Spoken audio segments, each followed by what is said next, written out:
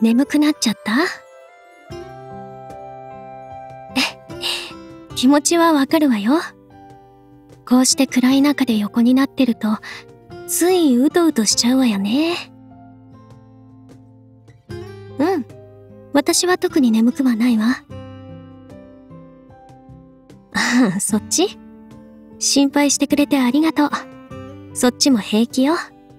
だって、こんなに眩しい月が目の前に出ていれば、怖い気持ちも引っ込んじゃうわ。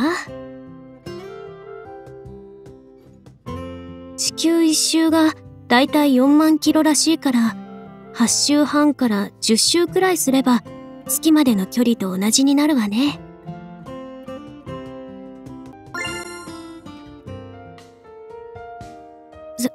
そうかしら。まあ、でも、表現が変わると受ける印象も変わるものね。さあ、どれかしら。宇宙はまだまだわからないことだらけだから。でも、はるか昔から、もしかしたら地球が生まれたその時から地球のそばに寄り添い続けてきたことは確かなんでしょうね。広大な宇宙で、この青い星を優しく照らしながら、見守るようにずっと。きっと月が勇気を与えていたのね。この先、何十億年も生きていく勇気を。私も同じよ。君がいるから怖くない。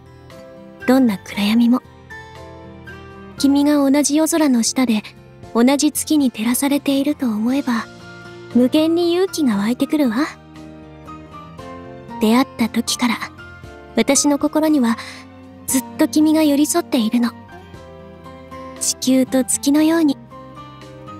生まれた時から一緒にいるみたいな自然さで。これからもずっと私を照らしてくれる？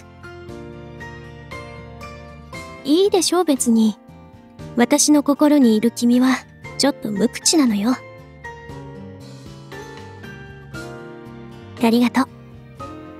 また心が明るくなった気がするわ。な、泣いたことなんてないわよ。